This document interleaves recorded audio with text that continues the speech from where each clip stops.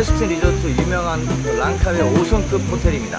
예. 뭐 조용하고 약간 고급진 휴가를 보내시는 분들이 많이 찾는 곳 중에 하나입니다.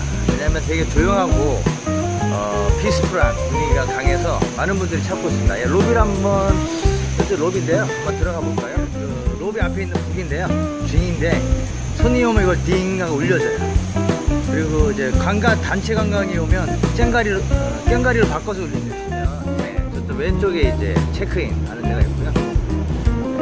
네, 이게 이제 전체 로비의 모습입니다.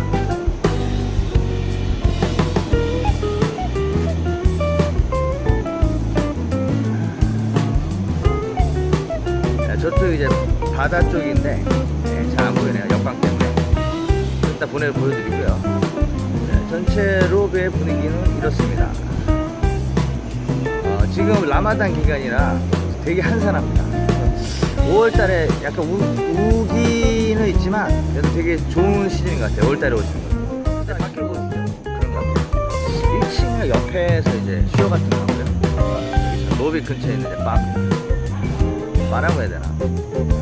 위에서 나오시면 예, 바를 지나서 저기도 이제 빌라들이 있고요. 방들이 있고 예, 여기 풀장입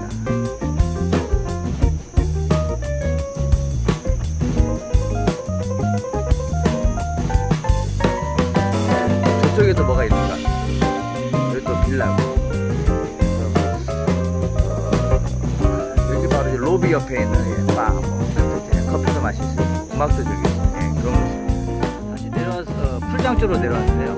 아, 영화 같아요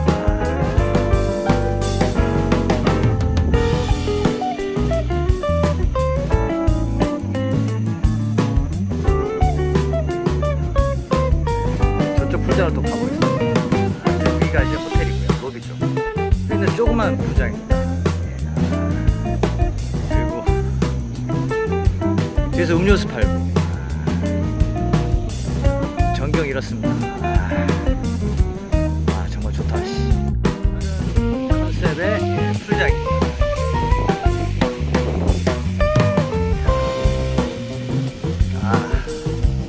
아 잘 해놨네요 네. 유명한 이유를 알겠습니다. 여기 이제 beach 쪽입니다 예, 이런 바다를 배경으로 해서요